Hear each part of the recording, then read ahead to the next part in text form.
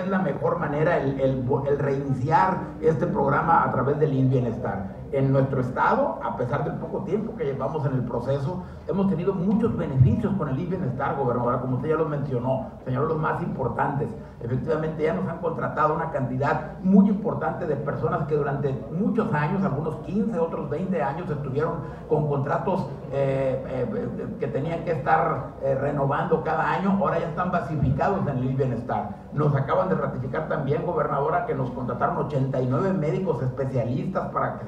distribuyan a lo largo del Estado. Entonces, eh, de esa manera vamos a estar trabajando de manera concurrente, tanto el Estado como la Federación, para concluir y poder llegar a esa etapa de transición. Pero insisto, durante todo este año seguiremos participando activamente para apoyarlos y que se concluya de la mejor, de la mejor manera este proceso.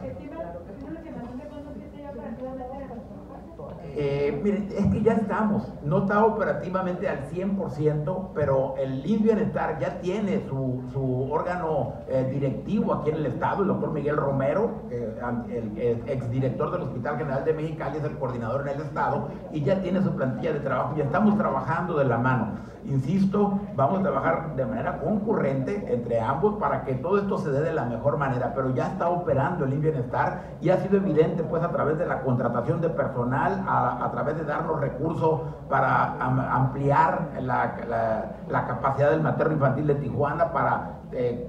para equipar y poder eh, también tener el recurso humano en el hospital zona este de Tijuana, ya está presente, eh, para el hospital también de, San Felipe, en fin, ya está presente, pero estaremos trabajando de manera concurrente y paulatinamente y se los haremos saber cuando ya en definitiva el IN Bienestar tome el control, la administración de todos los hospitales.